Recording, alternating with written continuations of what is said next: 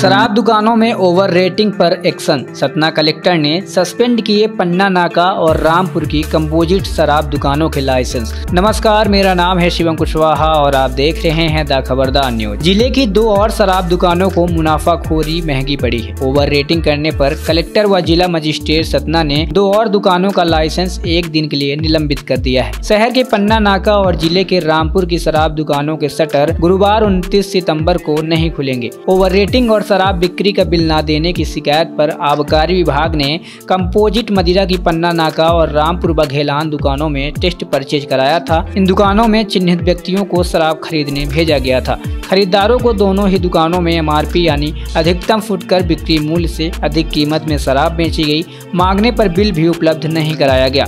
इस संबंध में जाँच और तस्दीक के बाद आबकारी विभाग ने प्रकरण कलेक्टर के समक्ष प्रस्तुत किया था, जिस पर एक्शन लेते हुए कलेक्टर अनुराग वर्मा ने कंपोजिट मदिरा दुकान पन्नाना का और रामपुर बघेलान का लाइसेंस एक दिन के लिए यानी उनतीस सितंबर के लिए निलंबित कर दिया है।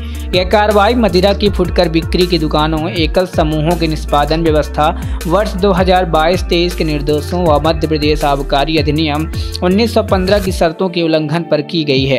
कंपोजिट मदिरा दुकान रामपुर बघेलान के लाइसेंसी प्रसून सिंह और कंपोजिट मदिरा दुकान पन्ना नाका के लाइसेंसी नागेंद्र सिंह है। बता दें कि टेस्ट परचेज के दौरान कंपोजिट मदिरा दुकान पन्ना नाका में देसी मदिरा मसाला का एक पाव एक सौ अस्सी एम एल रेट से उन्नीस रूपए अधिक और सौ रूपए में बेचना पाया गया है। इस प्रकार रामपुर बघेलान कंपोजिट मदिरा दुकान में देसी मदिरा प्लेन संतावन रूपए के खुदरा विक्रय मूल्य पर अस्सी रूपए में बिक्री होना पाया गया।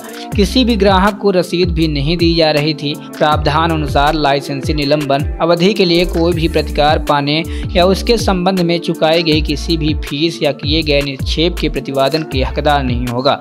बता दें कि कलेक्टर ने सर्किट हाउस और सुहावल मोड़ शराब दुकानों के लाइसेंस भी सस्पेंड किए थे।